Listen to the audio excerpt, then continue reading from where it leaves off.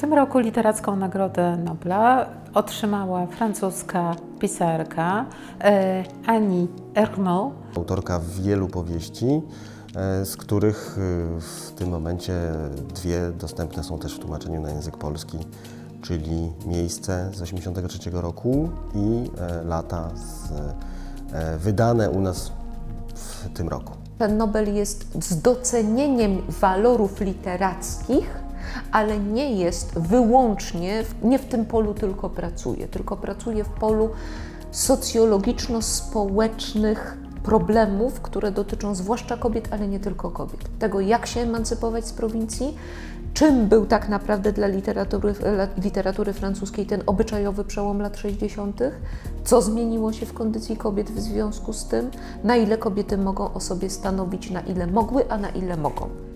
To, co jest moim zdaniem cenne, to y, pisanie z pewnością z perspektywy kobiecej, ale też w osadzeniu w bardzo szerokim kontekście społecznym e, i e, kontekście, który do niedawna, jeśli chodzi o zwłaszcza literaturę francuską, mam wrażenie, nie był aż tak bardzo e, akcentowany, czyli z perspektywy Francji prowincjonalnej. W drugiej połowie XIX wieku we Francji e, znane było takie powiedzenie Le femme qui lit sont dangereuses, czyli kobiety, które czytają są niebezpieczne, więc cóż dopiero kobiety, które piszą, które sięgają e, za pióro, jakby modelują wizję, wizję świata, tak? uderzają w pewne nawyki poznawcze czy, czy przyzwyczajenia. Dotykają bólu kobiet, bólu niemożności powiedzenia o sobie mocno, bólu decyzji, którymi one się nie zgadzają, bólu odzyskiwania swojej pozycji.